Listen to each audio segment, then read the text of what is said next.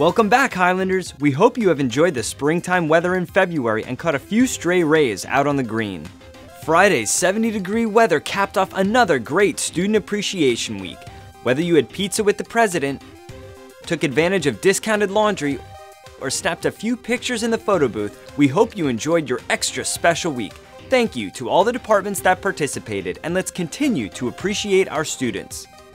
Career Fair once again played employment matchmaker when hundreds of employers showcased their company to thousands of eager, well prepared NJIT students. High tech fields such as engineering, life sciences, and business management were well represented.